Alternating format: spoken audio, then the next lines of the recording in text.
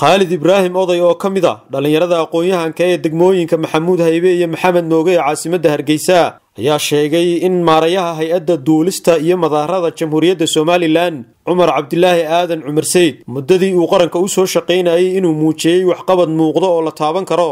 Waxa uu sheegay muddo afar iyo toban sano ah oo maarayuhu qaranka u soo shaqaynayay in looga maarmi waayey aqoonta kartida iyo daacadnimadiisa taasi oo sababtay in xilal kala duwan uu ka qabto xukuumadihii kala duwanaa ee dalka soo hogaaminayey.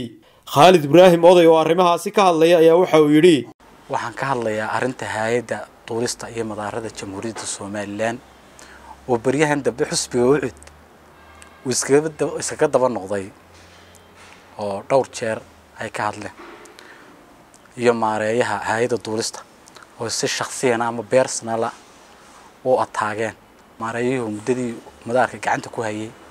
Madaarku wuxuu sameeyey korokac fara badan. In dad wuxuu ka qayb ka mid noqday madaarada caalamiga ah. Waxa waxa weeye wax wuxuu qabtay wax fara badan oo la taaban karo oo mid iyo lababa la odhan karo. Maareeyuhu ma aha nin warqad loo soo dhiibo ama loo soo yeedhiyo taasi waxay gef meel ka dhaca ku tahay. Qaranka jamhuuriyadda somalilan hay'ad dawliya oo dhisan oo maamul leh marka la yidhaahdo waxaad ku instituushkaaga waxaad ku shaqaysa oo lagu soo yeedhiya madaxweynuhuna mas'uuliyiinta u igmada shaqada caadadiisa ma aha inuu ku farageliyo. Muddada ay xilka hayaan. Maareeyuhu wuxuu ka mid yahay dhallinyartii farakutiriska ahayd ee buddhigga u ahayd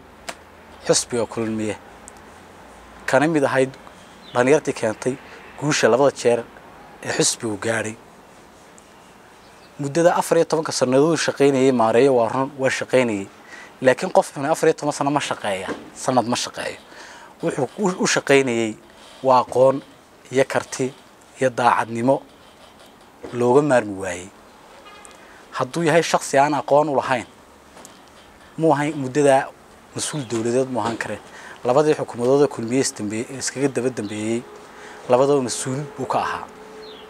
Mas'uuliyado kala duwan iyo hay'ado kala duwan na uu ka soo shaqeeyey. Weerarka isagaa lahaa oo maareeyaha weerarka isagaa kaga horreeyey maareeyuhu markii dambena jawaab waafiya ayuu guddoomiyaha siiyey.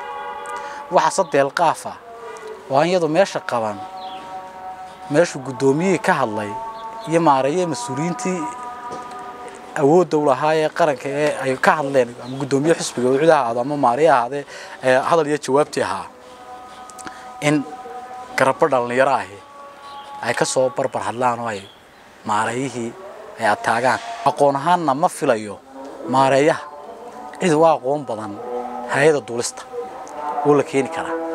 Waxan waa waa mas'uul aqoon karti iyo dadnimo intaba leh. Kana soo baxay mas'uuliyaddii qaranku u egmaday isagiiyo mas'uuliyiinta kale ee deegaanka ka soo jeeda maareeyuhu guuluhu soo jeedi soo hooyey ugu soo hooyeen deegaankan haddaan mid iyo laba ka dul istaago waxaa ka mid a helidda in ballimataan loo aqoonsado degmo. Wuxuu ka mid ahaa raggii ka soo shaqeeyey ee sida weyn xukuumaddii hore siilaayo ugu ooleeyey ballimataan inay noqoto degmo. Alxamdulilah waana ku guulaystay wuxuu shaqaabuur u sameeyey dhallinyar fara badan oo deegaanka ka soo jeeda oo iminka dawladda ka shaqeeya